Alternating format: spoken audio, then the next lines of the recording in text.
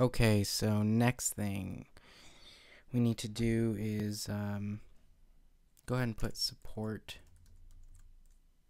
right there. So it's going to be a support map fragment. And we need to extend fragment activity.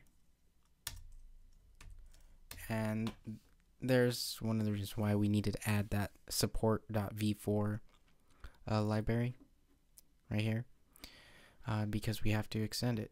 And we also have to implement uh, what is it? The location. Location listener. And of course we have to implement all the abstract methods. And we're going to go ahead and set up a Google map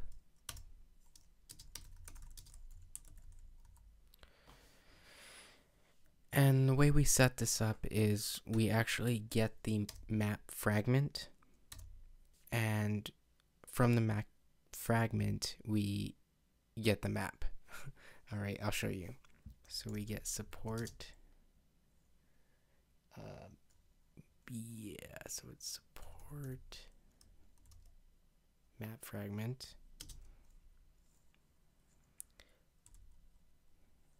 MF for map fragment or whatever you want to call. And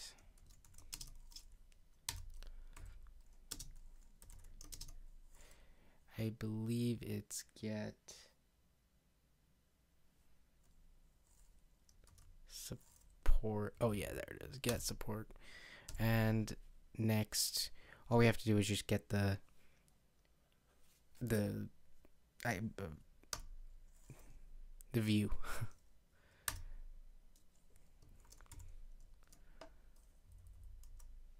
and let's see. And that's it. Alright, so now we set Google Map equal to map fragment dot get map and now you have a map. Alright, so now we can actually start using it.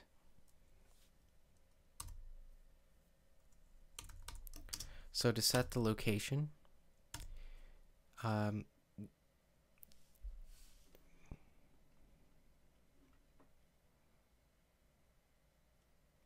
uh, set my location and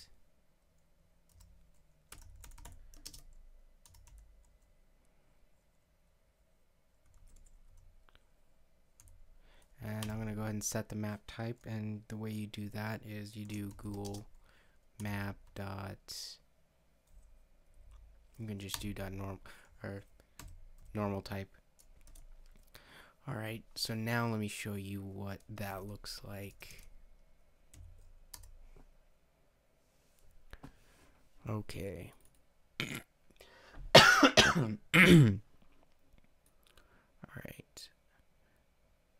Sorry, some of the screen is cut off there, but um,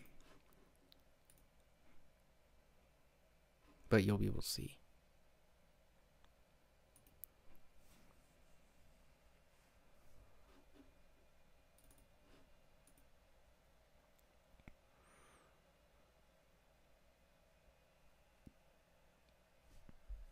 Okay, see now now you can see right up here when I click it it shows right where my location currently is.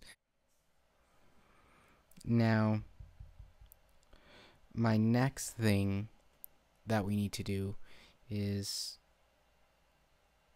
we can actually add a point on here, and that's what we'll do next.